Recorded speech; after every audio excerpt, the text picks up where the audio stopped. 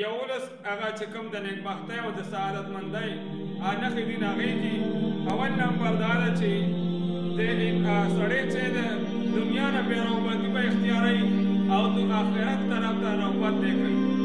دنیا سره به مینه نه ساتي او آخرت سره به نوبت هم مینه ساتي چې د ما اصل کور او د ما اصل ځای هغه آخرت ته هلته ورځم د هغې لپاره نیک عمل دی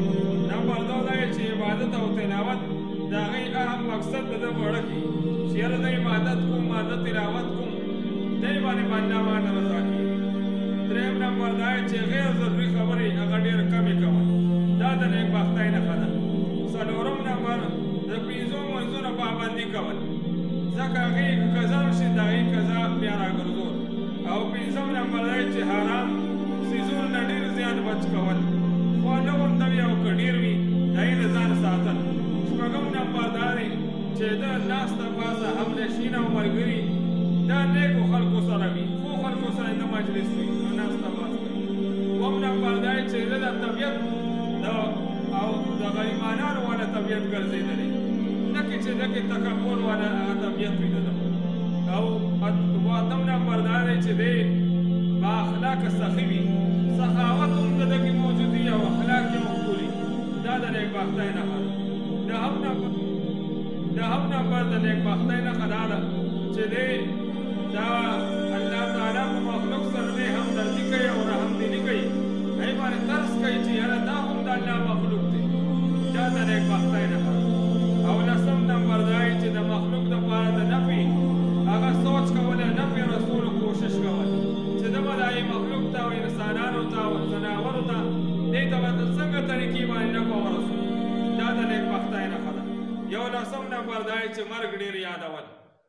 چې دا څه مرګ به راځي قبر ته به ځم هلته به مانه تپوس کېږي نو ځان ته مرګ یادول ډېر زیات مشران علما کرام وایي